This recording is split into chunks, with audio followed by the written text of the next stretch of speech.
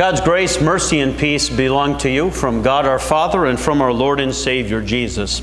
Today we focus on this portion of the scripture from 2 Timothy chapter 4. The final verse reads this The Lord will rescue me from every evil attack and will bring me safely to his heavenly kingdom. To God be glory forever and ever. Amen. These are the words of God. In the name of Jesus Christ, who promised us that these days would come my dear Christian friends. Jesus promised us that these days would come. When he talked to his disciples 2,000 years ago, he was very plain spoken about it. When Jesus explained the things that were going to happen and the signs that were going to happen in culture and in society in the days leading into and up to his second return, he was abundantly clear that these days would come. He said there would be wars, there would be rumors of wars. He said that there would be famines and earthquakes. He said that the family would break down and sons and daughters would betray their parents, their fathers and mothers, and as we read in our gospel lesson a few moments ago, would even want to put them to death. Because of the increase in wickedness, Jesus said elsewhere, the love of Christ, the love of most will grow cold. Apathy rampant apathy. My goodness, people, all of those signs are all around us in our world now. Wars, rumors of wars, famines, earthquakes, they're happening all over the world. The breakdown of the family is happening right before our eyes. Parents and children betraying one another. Rampant apathy has been going on inside the Christian church for at least the last 50 years, and certainly much longer even than that. Sometimes don't you get the sense as you look in culture, as you look in society, sometimes don't you get the sense that the speed with which people are walking away from Jesus, the speed with which values and Christian morals are going away is so fast and so rapid that even people like us who want to gather around the Word of God and hear what Jesus has to say, even people like us who heed the Word of God and say, we want to be faithful to the ends so that we can be saved, even we throw up our hands in defeat and say, what can be done?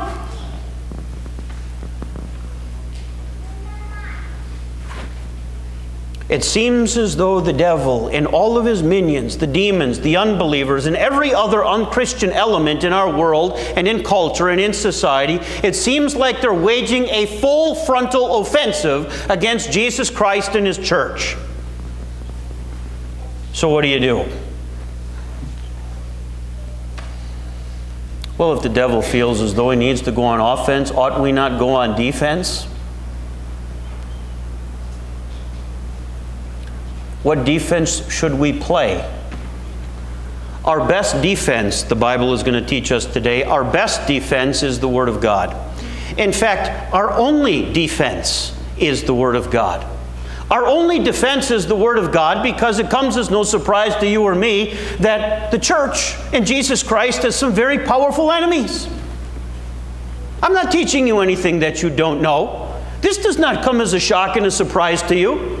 This is not enlightened knowledge that the church has great enemies. The devil is an enemy of the church. The devil does not delight in seeing you worship at the feet of Jesus today. The devil does not want to see you to, uh, read the Word of God. The devil does not want to see you go to heaven. The devil does not delight in the fact that you practice and worship Jesus Christ. The devil would love to see nothing than you ripped from God, ripped from church, and come to his side so that you might end up in hell rather than in heaven. And in order for the devil to do that, he preys on you and he preys on people with all kinds of a bag of tricks, but perhaps his most useful one is just simply to get to get us to undermine the very first of all the commandments. You shall have no other gods. Hasn't the devil been doing this from the beginning? Wouldn't the devil much rather have you bow down and worship something else other than Jesus Christ? My goodness, why, why would you not become so selfish? Why would you not become narcissistic? Why would you not become greedy or filled with pride? Why would you not worship the world, the money, the hedonism, the pleasures, the entertainment? There are so many other things in which the devil would lure us to kick Jesus Christ out of his rightful throne in my heart and replace it with some other impostor. He's been doing this since the beginning of time, since he worked Eve over in the Garden of Eden in exactly the same way. Do you remember the three men in the fiery furnace? Do you remember when King Nebuchadnezzar, under the influence of the devil and unbelief, suggested that those three men, those three good Jewish boys, that they bow down and worship his 90 foot tall image of gold because we want to kick God out of your heart and worship an impostor. Do you remember what he just said to Daniel in our lesson that we had a little bit earlier? The king made an absurd decree that the only person who is to be prayed to for a month was the king. And when they went and found Daniel praying to the Lord God, he ended up thrown into the lion's den. Didn't the devil do exactly the same thing with Jesus Christ? When the devil tempted and taunted Jesus Christ, didn't he say, Make your belly your God, turn these stones into bread? Didn't he say, All of this world will be yours if only you bow down and worship me? Time and time and time again throughout the course of human history, the devil has worked on you and worked on me in exactly the same way. He would much rather we throw up the worship of the true God so that we can bow down and worship some idol. How have the temptations come to you? Do you know? Do you see? How is the devil working you over in order to thrust Jesus Christ out of your life so that he no longer occupies the number one place of authority inside your heart, so that he does not sit on the throne inside you and rule your heart by faith? What does the devil tempt and taunt you with? Is it all the same things? Would the devil rather make you worldly? Would he rather have you acculturate and embrace all of the ideas of the world that fly in the face of Jesus Christ? Does he want to make you greedy? Are you tied to money? Are you tied to keeping up with the Joneses? Is it just simple selfishness? Is it simple pride and narcissism? Don't we know that the world revolves around me? All of these ways are the ways that the devil works on you and me, as he has been doing for all human history. So that Jesus is no longer worshiped he wages this full frontal offensive against you and me and people in the church. Well, then we ought to play defense. And the way we play defense, the only way we play defense is through the Word of God. You know what the Word of God teaches. You know that the Word of God teaches us that every enemy that has ever tried to poke and pick and fight against the church has been defeated. You know that the Word of God has told us that sin is bad. Sin drags us down to hell. Sin makes a mess of my life and yours. Well, if sin is an enemy, we know that the Word of God has told us that the sin of the world has been nailed to Jesus Christ on the cross. Well, then that can't be an enemy any longer because Jesus has taken it all away. Is death our enemy? You know that the Bible teaches us that Jesus Christ rose from the dead on the third day, and if he did, then Jesus Christ has conquered death, and not only has he conquered it, but he's conquered it for all of us who believe in him. What enemies can there be that fight against the church that Jesus has not defeated? Is the devil our enemy? When Jesus died on the cross and rose again, he announced his victory to the devil and all of the demons in order that they understand beyond any doubt that Christ has won the victory over all. That not the devil, that not death, that not even sin can be an enemy to you and me. And he looks to you and me and offers us his victory over every enemy through faith. You remember singing it in the hymn? It was stanza three. Do you remember those great words that Martin Luther penned? Even though devils, even though devils all the world should feel, all eager to devour us, we tremble not, we fear no ill. They cannot overpower us. This world's prince may still scowl fierce as he will. They can't harm us. He's judged. The deed is done. The devil can't hurt us because Jesus Christ has conquered all of our enemies. And the simple words of Jesus, the simple words of the Bible, have given it to you and they have given it to me by faith. if you want to defeat all of the enemies who are playing offense against us and against our faith, then our only defense is to hide ourselves in the words of God that teach us about Jesus Christ and his victory over every single enemy.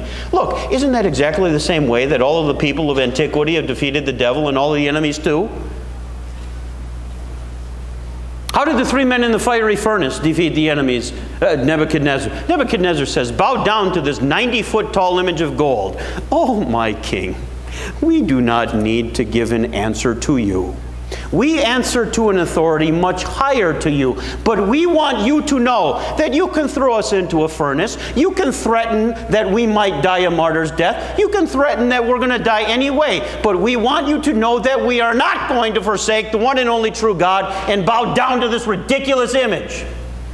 How did Daniel? How did Daniel defeat the temptations and the attacks of the devil. The king made a ridiculous edict. Daniel just went back to his room and he prayed all the while as he had always done. And even when he was thrown into the lion's den, God honored his trust in the one true God by delivering him. How did Jesus defeat the devil when the devil came to him? Shouldn't you turn your, these stones into bread? You've been, you must be famished 40 days and 40 nights. Jesus throws a Bible verse back against the devil to send him running.